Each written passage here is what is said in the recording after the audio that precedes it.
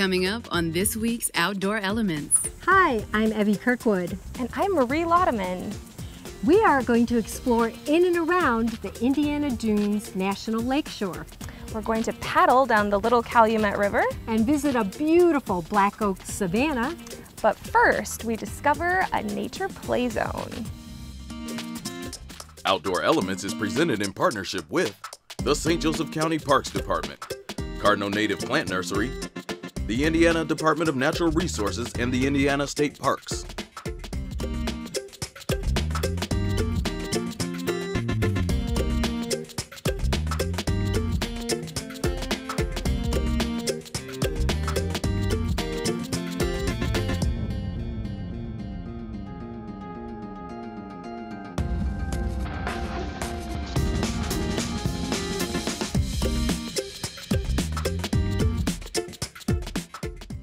It's a beautiful late summer day and being outside is a great way to enjoy nature and also there's a lot of benefits from it.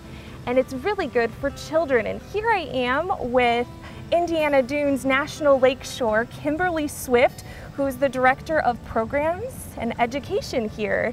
And we are here at a nature play zone that you've created. Mm -hmm. Can you tell us what is a nature play zone? Well, it's a special place here in our national park where kids can be kids. They can do the things that you and I probably did in our backyard or maybe in the, you know, farm field down the road. And nowadays, kids don't have those kinds of green spaces just everywhere where they can go dig around, build a fort, um, explore the woods on their own, and, and really get creative. So, how did you pick this location to be able to allow that? Well, it was kind of interesting. We were doing some cleanup and restoration around this area. You can't see from here, but our nature center, the Douglas Nature Center, is just right around this curve here. And we have a lot of school students coming here, thousands of students and visitors come every year. And we cleaned out this area and we stumbled upon this lovely little sand blowout that had actually been created after two railroads had been here and then removed. So the railroads are gone, um, but this little blowout was left, and we were like, aha, here is our play zone. This is a great place for kids to just come play. And it's right here by the Nature Center. This is great. Let's go check it out.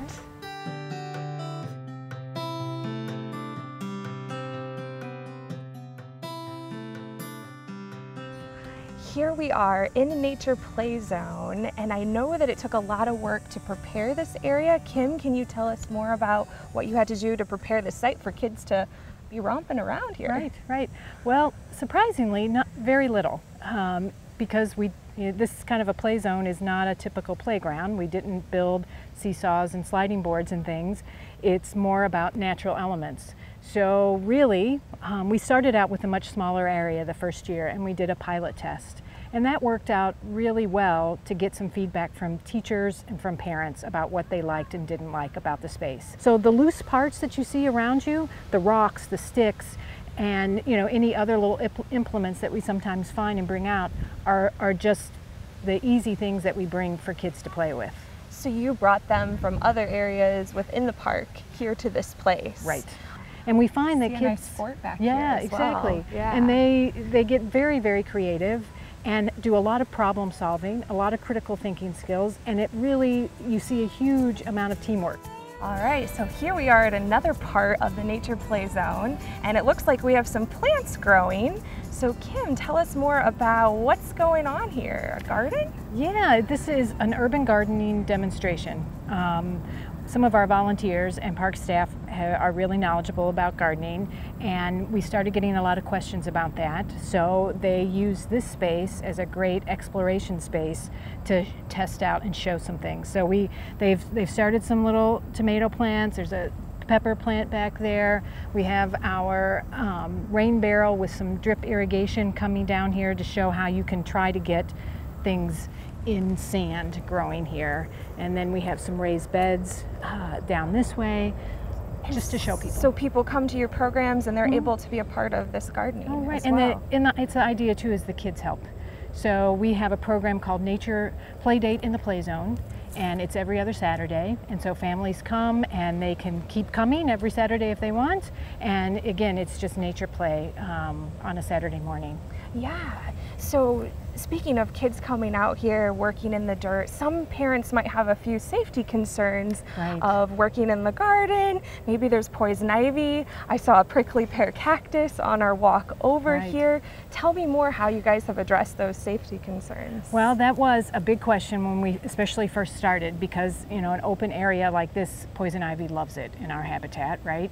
So we had to get rid of it to begin with because poison ivy is one of those things that you don't know you have it until a couple hours later, a day or two later, and we didn't want families and kids to go home with that um, experience. So we were able to just cut out all the poison ivy, and we have to come back and every spring do that just to make sure. And we've been able to keep it under control. Now the prickly pear cactus and you know some of the other plants we leave because that's a pretty immediate thing that you learn if you touch a cactus it, you know there's a little bit of a prick there and you don't do it again um, and so it's part of the learning experience to be able to learn and identify plants and we also have a little plant identifier we send out here with, with families too if they want to know what's growing in the play zone Great. So you lead programs out here as Yes. well to help uh, families feel more comfortable in this space. We have found that it's really the parents that need and require a little bit more education about the use of the play zone and, and teachers and caregivers. Kids instinctually know what to do out here. They just come and they play and they have a good time.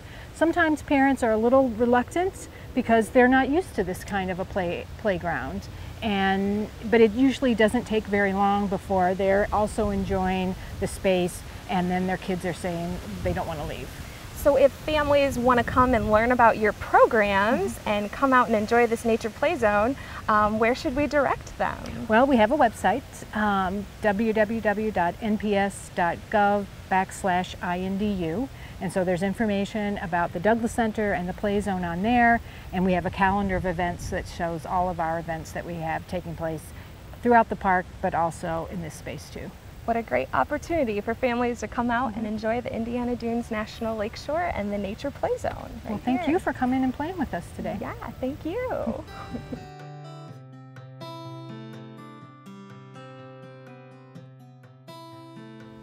We are actually in a marshy spot on the Douglas Center Loop Trail at Miller Woods in the Indiana Dunes National Lakeshore, and I am with John Kwilosz. John is a program manager for the Natural Resources Division, right? Correct. And beautiful wetland here, but we're going to talk about what's behind us, which is a great savanna. Let's really quickly say, what is a savanna?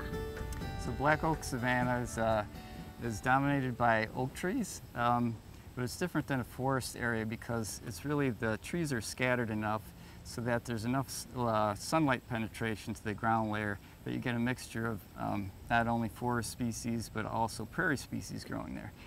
So beautiful, beautiful area. There's about 700 acres, as I recall, of savanna that you're kind of managing, right? Yeah, in uh, the Miller Woods area, we have a target area of about 700 acres for savanna. Okay, all right. So let's go explore some of it because it looks beautiful. Sounds great. All right, let's go for a walk.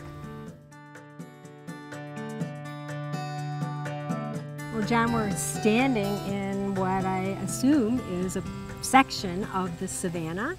And it's not like a typical forest that we think of closed canopy, right? It's very open, the trees are scattered, and it's really beautiful, right? It's a beautiful habitat. One of the things I think is amazing about the National Lakeshore is the biodiversity that's here. How many species are estimated to be within the National Lakeshore? So plant-wise, uh, there's over 1,100 native uh, plants documented. The openness of the savanna allows for prairie species to Okay. grow in the in the ground layer. So we see things like uh, you see Indian grass here, and some um, there's some blazing stars, and, and a whole suite of uh, prairie species. And they Yeah. thrive on the sun, right? Correct, correct. So when you're managing this, um, I, I, some of the tools you probably use are fire, right? I bet you use prescribed fire. Correct. Every few years, this uh, this area gets burned uh, intentionally with controlled burns, prescribed fires. Yes. And do you like determine that by like looking at the canopy and thinking how dense it is, or, or how do you how do you say okay this we've got to burn or this we've got to Right. So we a number of things. We uh, you know we look at the area, um, just get an idea as to how how quickly the woody species are coming in. So if things are getting really thick and brushy, uh, we can use prescribed burn to kind of knock that back and prevent those young trees from growing up into mature trees and then increasing the amount of shade in the area. Um, at And, some and you actually have a little tool that helps you measure the canopy, right? right, right. So this is a this is a densiometer. Densiometer, okay. Correct. In a great so little box. Okay. Basically, Oh, it's, like a a mirror, It's right? a mirror.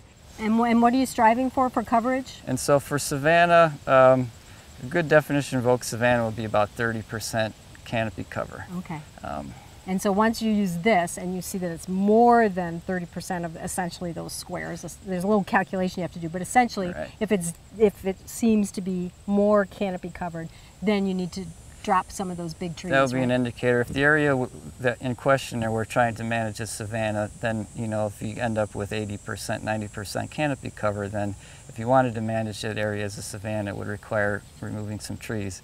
Um, and the prescribed burns that we do are good at keeping uh, increase of um, canopy, but as far as like um, controlling the mature trees, we use other methods for that, including using chainsaws. Um, we have a track loader with the mower attachment that we use in areas that are really dense, Yeah. but mostly brush cutters, uh, chainsaws. And sometimes you actually girdle a tree, right? Where you actually cut um, all the way around the living tissue of the trunk of a Right. tree. So one method would be uh, to leave the tree standing, which actually can provide habitat for, for a lot of Yeah. species like woodpeckers love love the dead standing trees. But yeah, if you take a chainsaw and cut a cut a groove around the tree through the bark into the cambium of the tree, and then we'll actually use an herbicide, spray it in the cut surface. That way we, we kill the roots of the tree and prevent it from uh, from sprouting right. back. Correct. Yeah. Well, I know the crew is out working and trying to get rid of some invasive species, so let's go catch up with them and see what they're up to. Sounds good. Are some of the management tools and techniques? You got a, the natural resources crews out here working today. So what are the what are the tools they're using and what all is happening here? So we, we use a variety of methods based on the, the, the plant that we're treating. Um, we do foliar applications of herbicides. That's what you're seeing people using the backpack Spray. sprayer, right? So that's an herbicide applied to the leaves of the plant that gets absorbed and drawn into the plant and then kills the plant all the way down to the root. Uh, we're also doing uh, stump application. So for woody species, uh, oftentimes what we do is we cut them either with a pair of loppers or with a brush cutter and then um, in order to keep it from resprouting and growing back, we actually apply herbicide to the cut surface of the stump. Okay. And the, the when you actually spray the chemical, I noticed it has like a blue color. So that's like a marker, right? Yes, To- the blue color is a dye that we add to the to the um, product so that we can tell where we've treated and what we haven't treated, so that nothing gets missed and nothing gets sprayed more than once. more than once. So you're not overusing the chemical, right? Mm-hmm. Which is correct. important. Uh, with the brush cutter, then basically somebody's following around with a little squirt bottle to cut the or to treat the cut stem. right? Yeah, sometimes we have, um, depending on the tool being used, the person could actually do the cutting like with loppers or hand shears and then apply it um, right afterwards. But it's oftentimes more efficient to have two people, one using a piece of equipment like the brush cutter, and then a second person following up with, uh, with the herbicide application. Now, when you are working in a specific area, I imagine you want to follow up in a subsequent season to see have you had success. Do you need to come back? So, how do you find the spot again? How do you because you, you're managing 700 acres of savanna? Right. How do you know where you've been, or how do you know where you've treated? Right, so uh, we every everything that we do here, we generally map with uh, GPS units. Uh, they have a data dictionary, basically that prompts the uh, user to collect certain pieces of uh, data, like what kind of uh, herbicide was used, what concentration, what species was being treated, and so then, because we rarely kill the entire population with the first treatment, we use that data for the crews next year Uh, they use the same GPS unit, the same data to navigate back to the same patches And then they can check. Okay. Correct. And some of the things that are getting removed here today, I, I see um, the Asiatic bittersweet, Oriental Right, right, bittersweet. correct. What else is? What else Um, are they trimming out? So the crew with the brush cutter, they're probably cutting some uh, black locust. Um, we have tree of heaven here. We've got autumn olive as far as woody species, and like you mentioned, uh, the foliar application they're doing is to uh, oriental bittersweet. Oriental Yep. bittersweet. Okay. All right. Great. Well, let's keep exploring the savannah because it's a great place. Right. Well, the obviously the crew's work is what really makes the savannah so spectacular. How long has uh, the National Lakeshore been managing Miller Woods in the savannah? Uh, Miller Woods area, I know we've been back to the mid 1990s. We started working on the invasive plant control treatments. Uh, we did a big project recently in uh, 2014 starting to do a little bit more of the canopy um, adjustments here. Um, so yeah, it's been a number of years. And the, obviously the efforts show. What would happen if you stopped? Stopped all the management? So we stopped uh, doing periodic burns um, and doing any kind of uh, treatments for woody species. Probably what would happen then is that we'd see an increase in the woody species density, and then eventually this would probably convert into like more of a forested type. Um, so that would mean probably loss of, of the all the species that require open sun. Open so the prairie species would, would, would start to disappear. Right, and that means then the insects change, which means the birds Right, right. change, and Yep. then you, you sort of sort of collapse that little ecosystem. Correct, correct. Well, I certainly thank you so much for sharing the story of the Black Oak savanna here at Miller Woods at the Indiana Dunes National Lakeshore. I encourage folks to come out, hike the trails, visit the park's website to find out more about savannas and all the great habitats that you have here. And thanks for your work. Thanks Sure, so much. thank you. Thanks for visiting. Here we are on the banks of the Little Calumet River on a beautiful day, and we are glad to be joined with Kathy Martin, who's the program manager from the Save the Dunes Council. Kathy, can you tell us a little bit about where we are in relation to the National Lakeshore? Sure. Right now we are on the east branch of the Little Calumet River. We are on Wykes Plampin. It's the Shirley Heinz Land Trust property.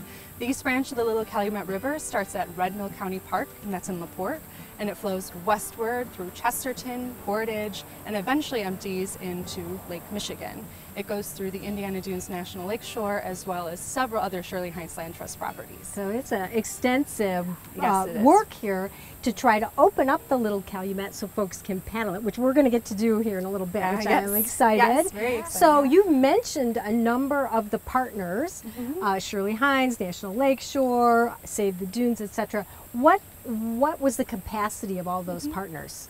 So we all got together a number of years ago to talk about accessibility on the east branch of the Little Calumet River.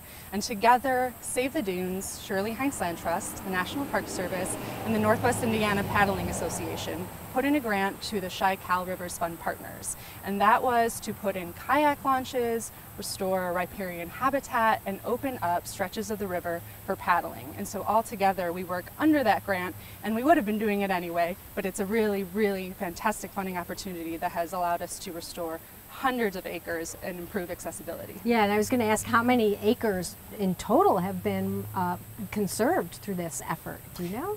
So there are several different levels of conservation in this. We have Shirley Heinz Land Trust, who is acquiring a lot of acreage along the east branch of the Little Calumet River. They're calling it a conservation corridor.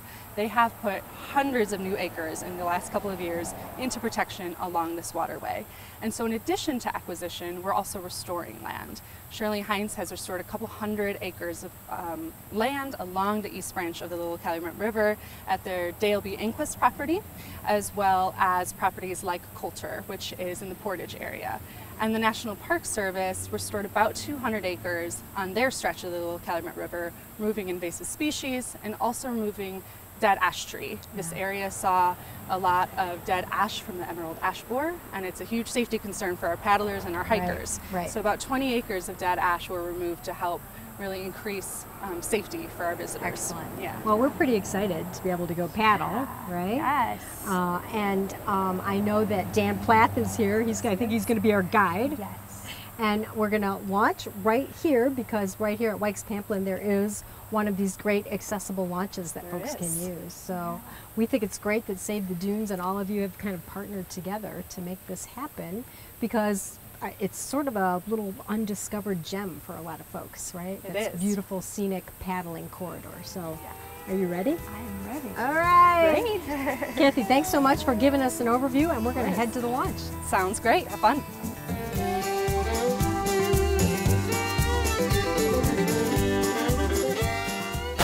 So now we're with Dan Plath, and you've got a couple of different titles, Dan. You are, I'm the Chief of Resource Management with the Indiana Dunes National Lakeshore. but you're also a big paddler. Yeah, I helped uh, found the Northwest Indiana Paddling Association in 2009. I was the uh, president of the organization until I took my role about two years ago with the National, National Lakeshore. Lakeshore. So uh, I, uh, my official title is volunteer. Oh, awesome. Volunteers make the world go round, I'm convinced. So you have been instrumental in helping make this possible, this paddling possible, right? So what kind Us of in the? Paddling Association. yeah, yeah. what kind of work did you actually have to do? So when we uh, took took over this or took this on as a project, uh, it's almost about 10 years in the making to get to where we are right here. The river hadn't been maintained in close to 40 years. There was hu- literally hundreds of large log jams all the way along here. A tornado came through in 2009 and had put you know multiple very large diameter trees in the in the river. So it's been a huge effort. Uh, each year we're putting in uh, six to eight hundred uh, volunteer hours and man hours of uh, time into getting the river opened up. It's like a little section at a time. yeah, right? it, what we do is it's called the Palmiter method of restoration. So this is we learned this from the Northwest Indiana steelheaders. It's a fish-friendly way of taking out enough uh, woody debris that uh, you can get safe passage through, get the water moving, get paddlers to be able to go through. But the vast majority of the woody debris is still left in the river. Uh, so it helps with the macroinvertebrates, with the fish species. It actually, you can kind of uh, scour the bottom in areas to make it deeper and better habitat for the fish. So that's kind of our technique, what we've been using. So Dan, with all this hard work, is it pretty amazing to see your work paying off with different species of animals? Maybe some new mussels? Two, a couple things that we're just discovering. Uh, 52 years of it being a national park, but about the last uh, 30 some without people out here using the river. Uh, there, we discovered something in the river we didn't know we had. We thought that they were extinct. Uh, we have uh, found live mussel beds in the river. Wow, Nothing federally uh, listed, but that being said, these are native mussels to Indiana. We think at, uh, right now about four species uh, there's evidence of. That's. I personally found uh, the first live bed out here, but we're actually out doing mussel surveys right now in the river as we speak to see what else we have. So it's pretty exciting, uh, you know, it, because there's something here that we didn't know about. And I think it's good evidence that the water quality uh, has uh, improved. In 2009, there was a pretty thorough survey what was done of the river, and at the time, uh, they found no evidence of live mussel beds in the river. So Um, it's so a comeback story. so yeah, and I think a lot has changed since then.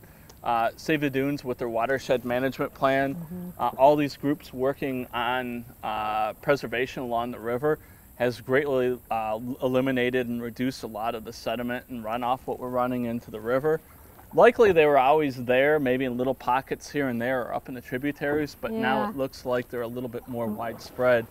And actually, just past where we're at, at at this point is another spot I was planning on doing some investigating because I suspect that there's some more mussels over here. Oh, I found a couple shells where the uh, uh, where it was still linked, so they're uh, recent dead mussels. Wow, very so cool. mussels are very intolerant to pollution Yes. then as well, right? Yes, generally speaking, they're they're kind of like uh, you know the canary in the coal mine or the amphibian, something like that. They're a filter feeder. So if you have too much sediment, you have too much runoff, uh, problems like that, um, those are things that that cause problems for mussel species. So we. Apparently these are pretty hardy mussels because they've been able to survive. This river fluctuates Uh, this bridge we're going over, for example, back in February, the river was literally going over the top Oh, of I bet in the spring floods, right? Yeah, with the spring flooding. Yeah.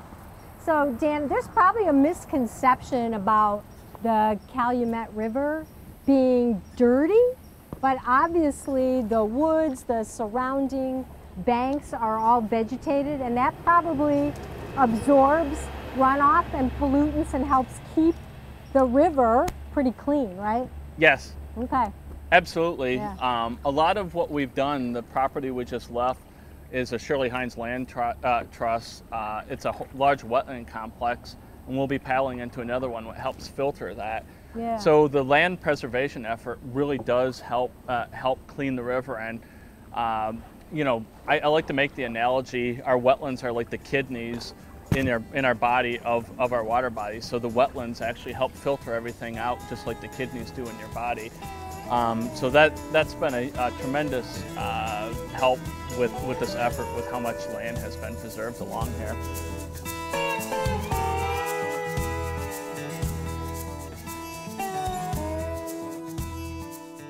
All right, thanks for being with us on the show today. We had a chance to discover a nature play zone. And the black oak savanna was gorgeous. It was great to see all those prairie species in bloom. yes, and then we got to paddle down the Little Calumet River. For more information, check out the Outdoor Elements website. And remember, you can find your own outdoor elements when you visit area parks and nature centers. We'll see you next time.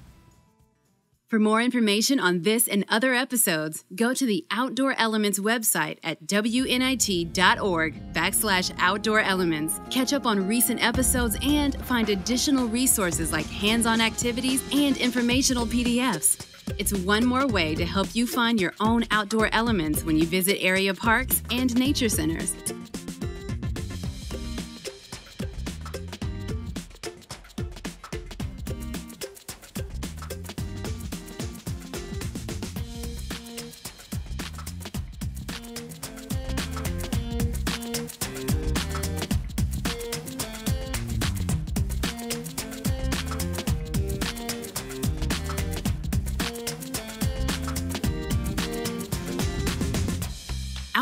Elements is made possible in part by viewers like you.